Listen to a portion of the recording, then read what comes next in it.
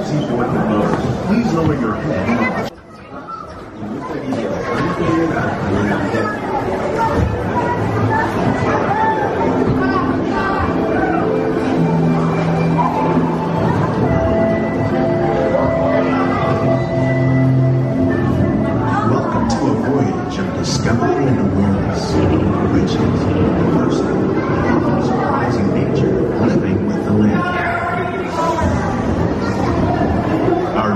Begins as dramatic and sudden changes are sweeping over the land. The approaching storm may seem violent and destructive to us, but to nature, it's a new beginning in the cycle of life.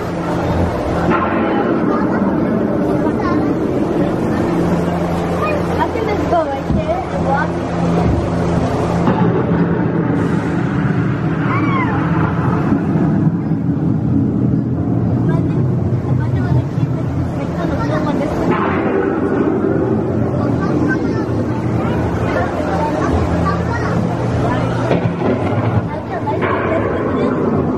Plate and then we just do that also.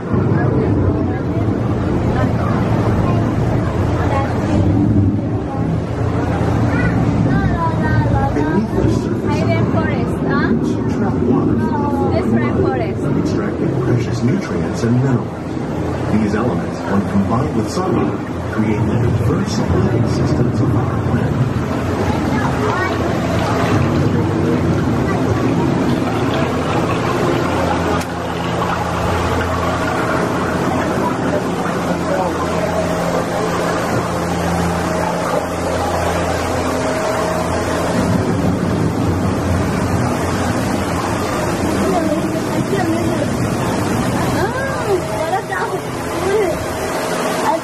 One of those living systems is the rainforest, home to the most amazing concentration of life on our planet. And beautiful forests cover only a tiny portion of the Earth's surface, but they contain more than half of its plant and animal.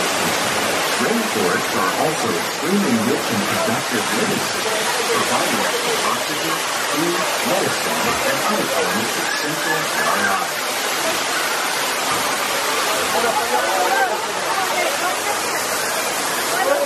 Ah, look here! Oh, crocodile! I'm gonna look here!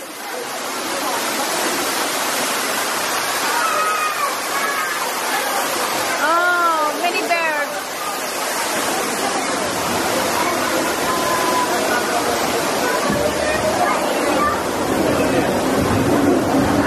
In the desert, nature has created a very different, no less beautiful living system.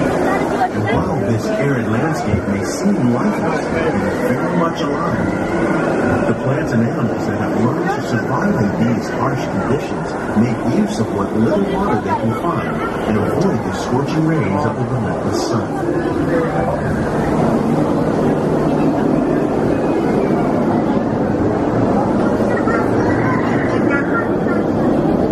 The American prairie once appeared as desolate as the desert, but over time, Those are the animals that make. Gradually penetrated the hard surface of this land. Even the hooves of the mighty buffalo helped create the rich soil that would one day become home to the American farm.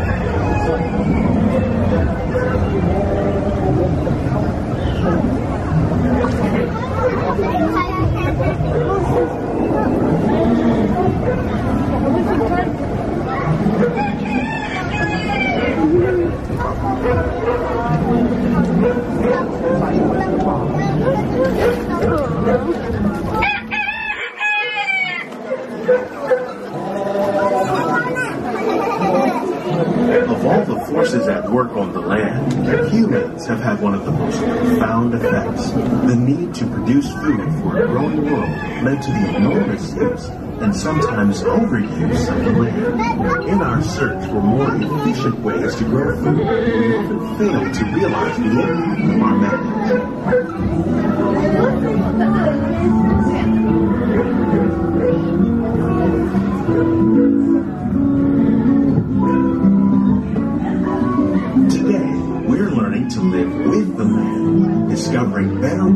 grow food that will assure both human and environmental well-being.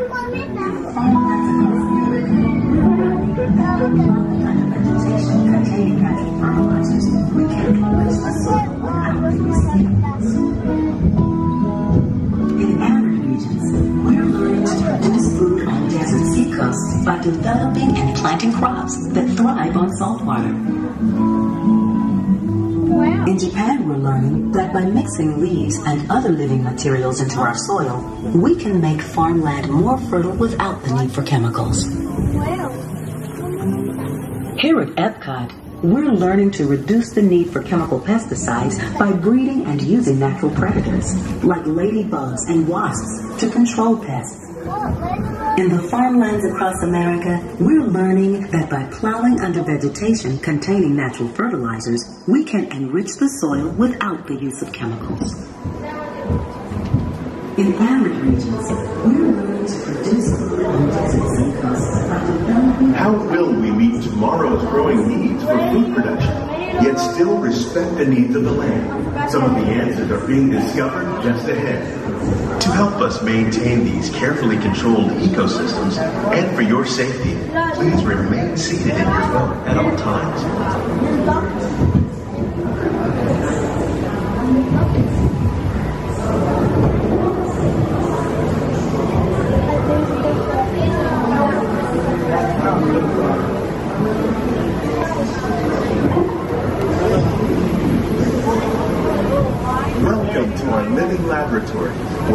Scientists from Epcot and the U.S. Department of Agriculture are exploring innovative ways to produce bountiful harvests now and into the future. Jag har snart stämmen. The tropics are home to the greatest diversity of plants on the planet. Many of these, like papaya, bananas, cacao, coffee, and rice, are well known around the world. These are just a few of the edible plants that have been an important source of nutrition for people living in the tropics. Many are rich in vitamins and minerals, while others are well adapted to growing in less than ideal conditions. I wonder what shrubs will fall in the Some, like the water lily, thrive in wet, swampy areas and water waterways. All parts of this plant, even the flower petals, are edible. The starchy leaf of the plant has long been used to make flour for baking. Not real. One day, many of these lesser-known tropical plants may be as important as the bananas growing on both sides of the boat.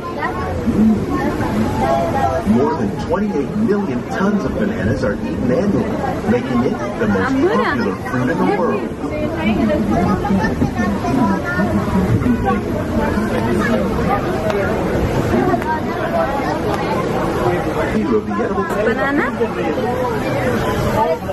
Few of the edible Banana? Ah, banana!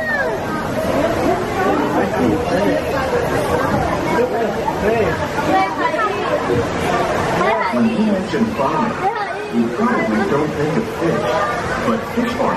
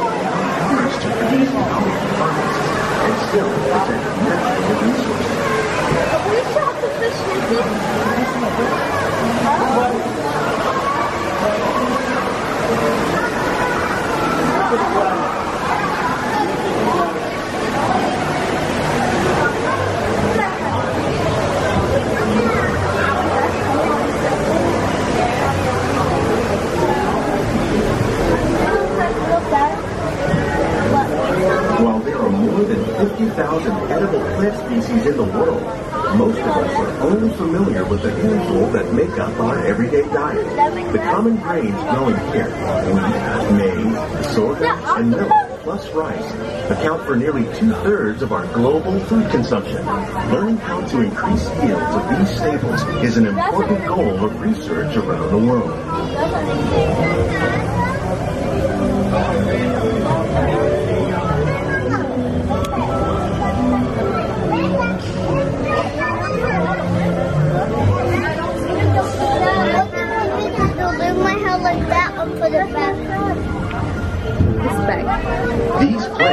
Beautiful on their boy. way up. Innovative growing oh, techniques Oh, Mickey. like Look at Mickey. while more efficiently using resources like water, fertilizer, Ahmed, look.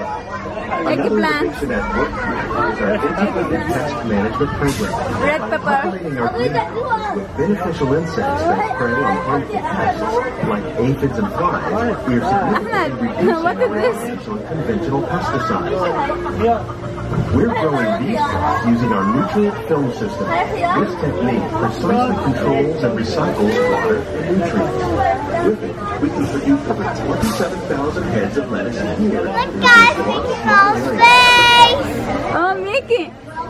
Mickey, yeah? Look, Mickey.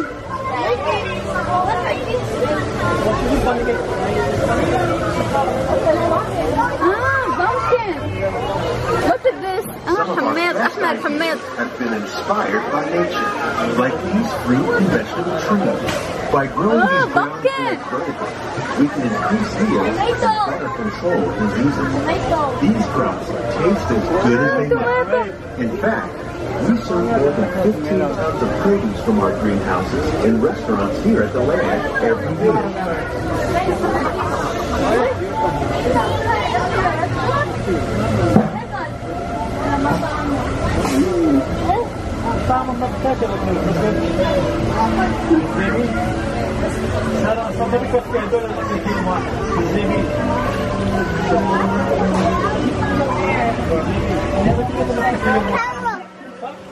The future of agriculture may include innovative ideas like this vertical growing system.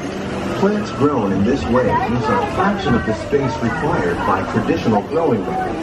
That saves water and increases production. The aquaponics system on your left combines hydroponics with aquaculture. The fish provide a natural source of fertilizer for the plants, and This the bag. plants help keep the water clean Yeah. for the fish. It's another great way so to much. produce more while using less. In our lab, Epcot scientists are working with the U.S. Department of Agriculture on a number of innovative projects. The goal of these efforts is to produce higher yielding and better quality plants. Why is that on the tree?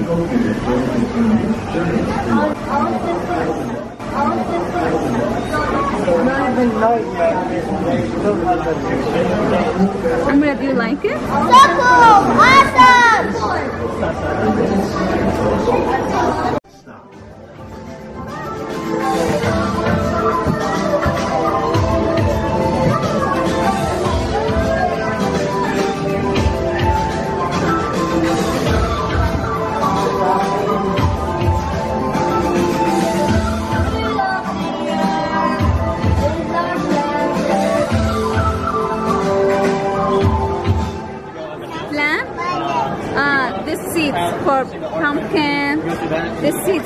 Pumpkin.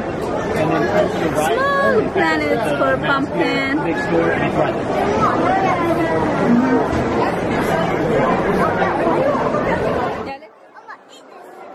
You eat chocolate? Oh, eat this piece. Okay. What? Okay.